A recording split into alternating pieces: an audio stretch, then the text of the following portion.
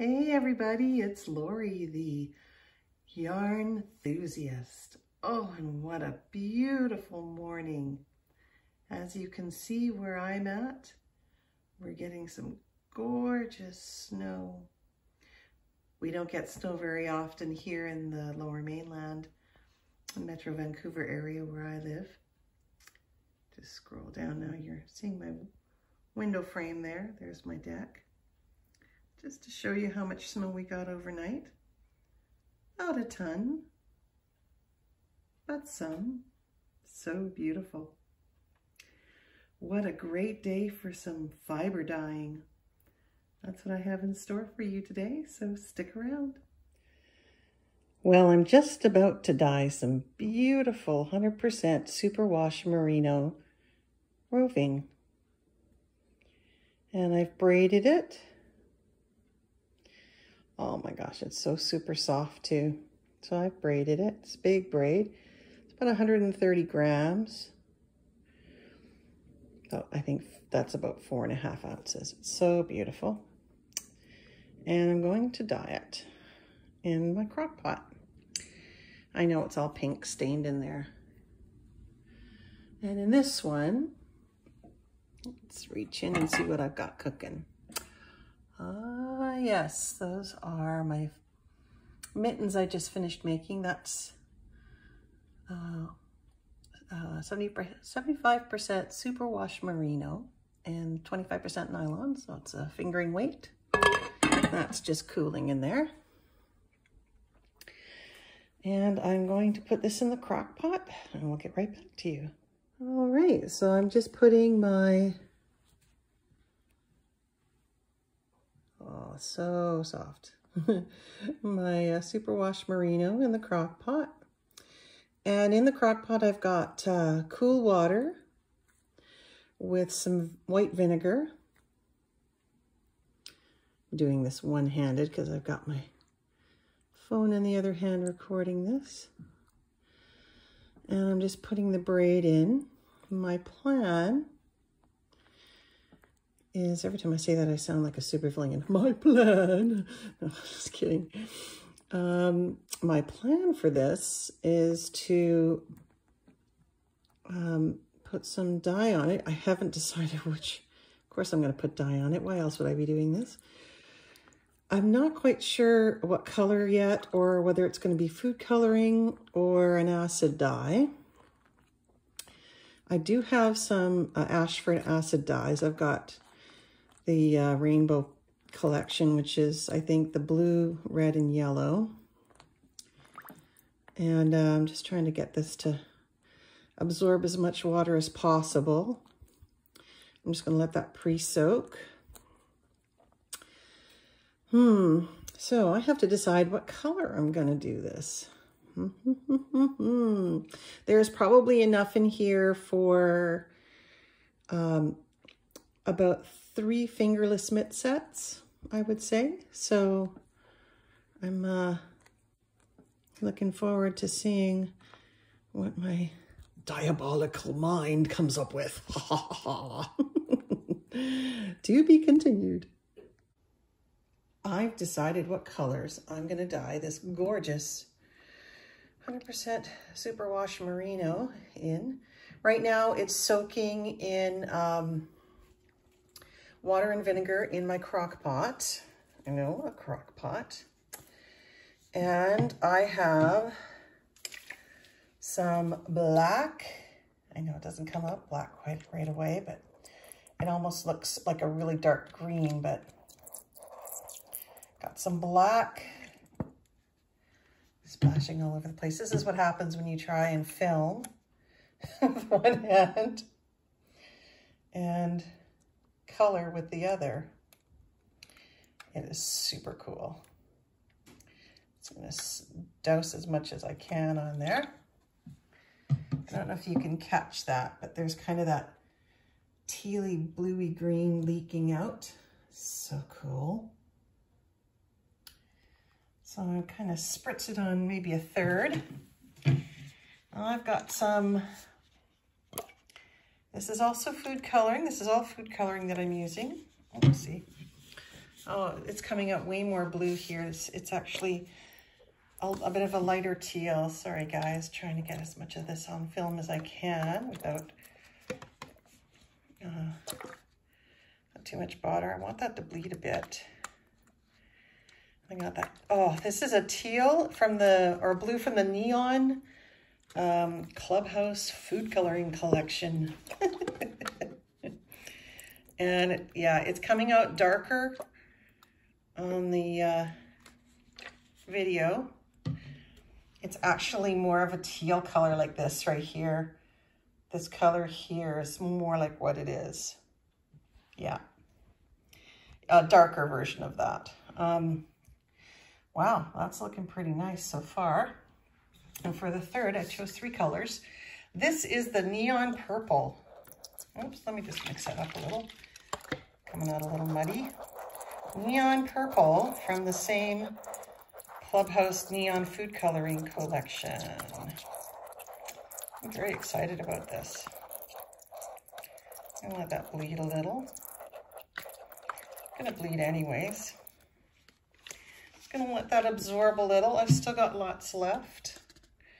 I started with uh, 125 milliliters of water, uh, eight drops of food coloring for the blue and purple, and then um, 10 for the black.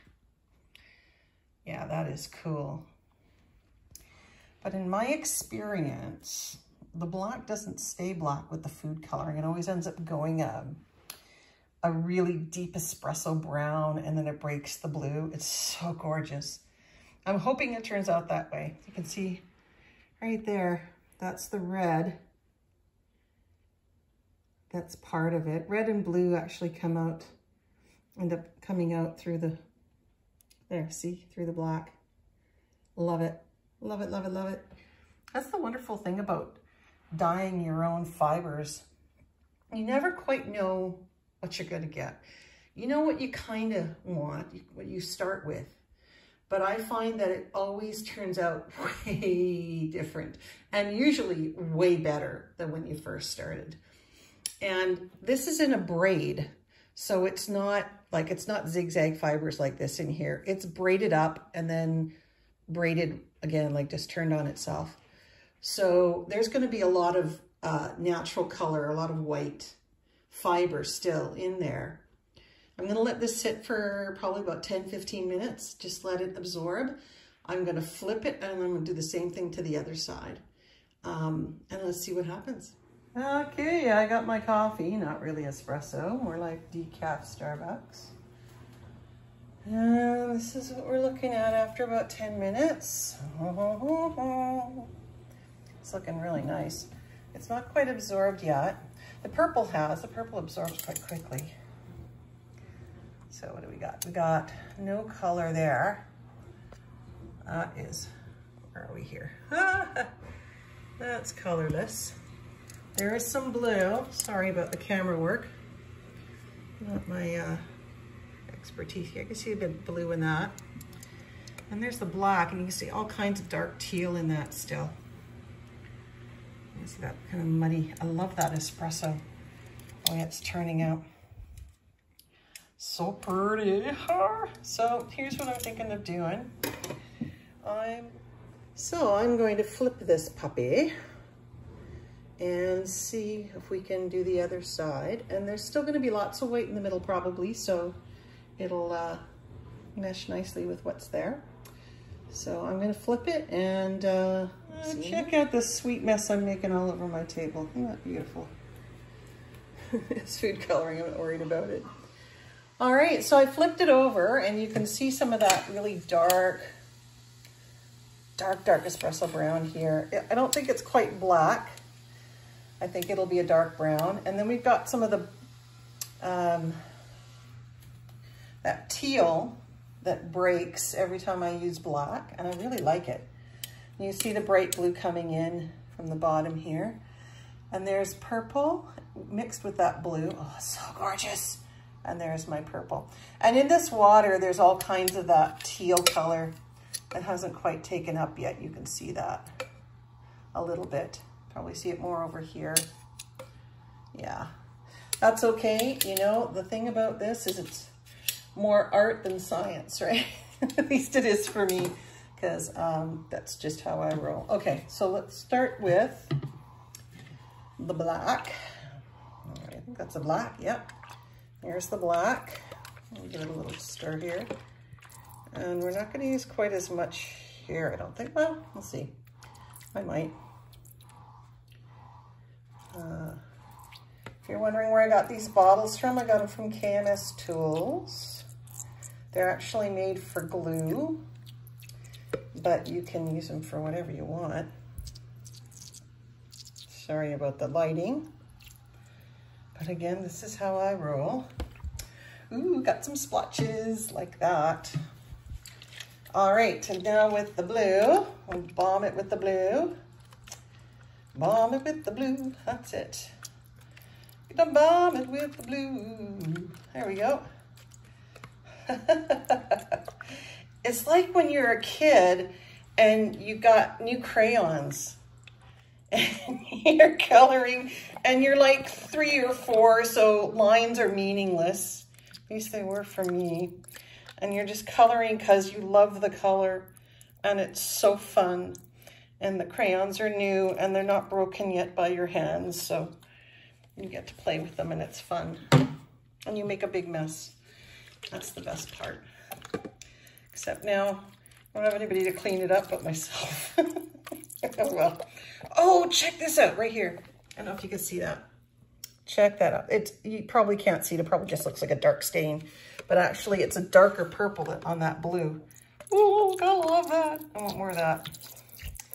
Let's fix this though. I think this is cool, this purple here. It's supposed to be a neon purple, and I'm sure as it dries, it will be more neon or more light, bright than it is certainly in the water. But I love how it's, I love how it's combining with this blue. I just want to put that a little bit more on that edge there. Oh, yes. Good thing I'm not a cameraman for a living. I'd be broke and hungry. Okay, here we go. Oh, it's looking good. I'm liking it. I like it a lot. I think I want more blue though. Unfortunately, I have a little bit more, so I'm just gonna dump it out. Oh, the last of it. And just for fun, I'm gonna put a little purple in here, see if anything changes. Oh yeah, kinda. I kinda like that a little bit. A little bit of purple in there. A little bit of purple in there. I don't wanna, oh yeah, cool. Oh, it's looking good. It looks so funny. It does, it looks funny, but it's gonna be really cool, I think, when it's done. And again, I'm just gonna let it sit a little bit and maybe clean up my, my mess here. Oh, such a lovely mess too. And have some of my Starbucks coffee. Oh, scrumptious. Can't wait till I can spin that. Dying to see what it looks like. And remember, there's gonna be white in the middle, I'm hoping. okay, I've let this sit for hmm, 15, 20 minutes now. There's still quite a bit of um, bit of the black, quite a bit. You can see that, there's quite a lot. Most of the red's taken up though. So what I'm gonna do is just pour some more water in this. Pour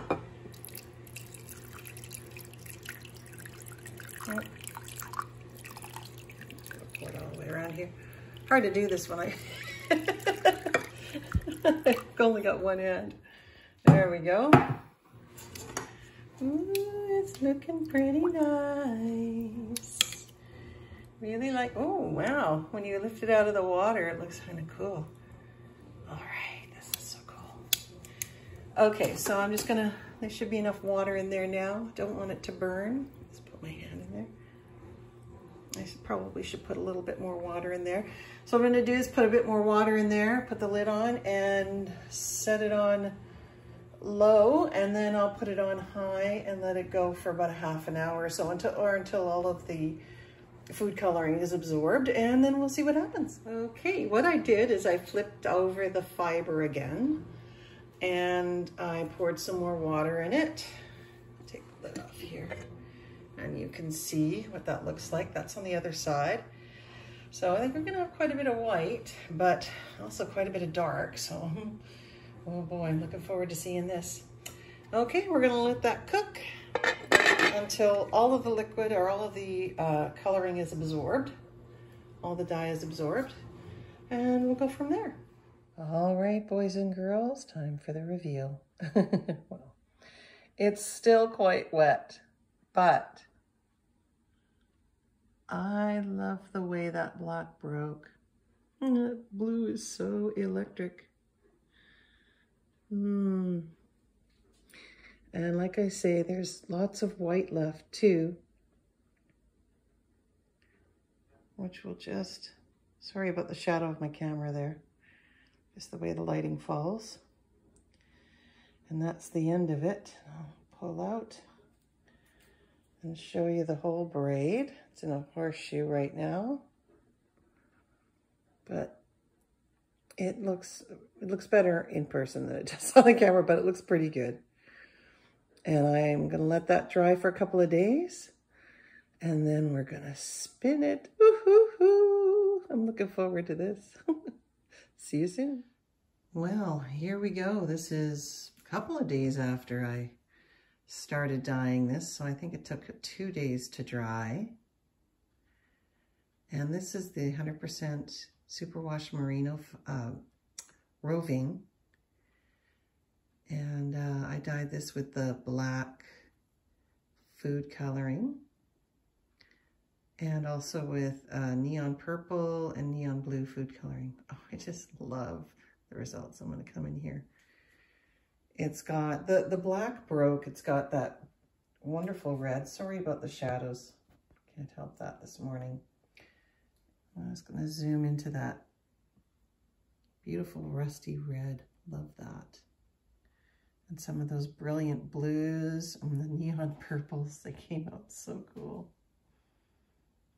Let's kind of give a feel. Again, sorry about the shadows. Look at that. How beautiful. Then you come out here and see again those beautiful, almost espresso colors coming out a little lighter than it actually is. It's a little bit darker than that. Again, I can't avoid the shadows. I apologize. And then this really kind of almost cotton candy kind of feel to it. A bit of green. And that, oh, look at that blue. So beautiful. So beautiful. And that is the magnificent, magnificent, I can't talk, that magnificent fiber. I am so looking forward to spinning that. So I'll bundle it up in a braid and uh, show you again. Ta-da! There's the braid, finished in all its glory. Oh, just love those colors. Oh, just so beautiful. And there it is. If I turn it over, see if I can turn it over with one hand here. You can see the other side actually has more of that brown, that beautiful reddish brown, and a lot more white. Oh, I'm looking forward to spinning that up. So there you go. All done. Well, here it is in all its fluffy gorgeousness. Oh, look at that purple. I loved how that turned out. Kind of blowing out a little bit here, but it's quite a vibrant neon purple. And then there's those beautiful blues. Some of those blues are from the, the broken black, and some of the blues are from the one, the blue that I added. That, um, there, like this one, like that blue here that I added, that blue food coloring. And of course the purple that I added, that some of it mixed with the blue, looks so wonderful. And this color here, that's again from the black that broke. And you can even see some green in there, is really cool. And that beautiful espresso brown, see some more of that here. You can see some, it's, it's almost a black, but it's more like a brown. It's so squishy soft. Oh. Can't wait to spin you. I just want to thank you so much for joining me today, and uh, I hope you enjoyed the video. Uh, it's no longer snowing here, it's now rain. Uh, of course, that's the way we are in Vancouver. It's a little bit of snow followed by a little bit of rain. Anyways, again, I'm looking forward to spinning this, and when I do, I will show you the masterpiece. I will show you the results. Please, if you uh, would so like to, please subscribe below. And if you'd like to leave a comment about this beautiful fluffiness or any other yarny related goodness, please do. And I know that you will be kind because that's that's who we are as yarny peeps. So anyways, thanks so much for joining me today. We'll see you next time.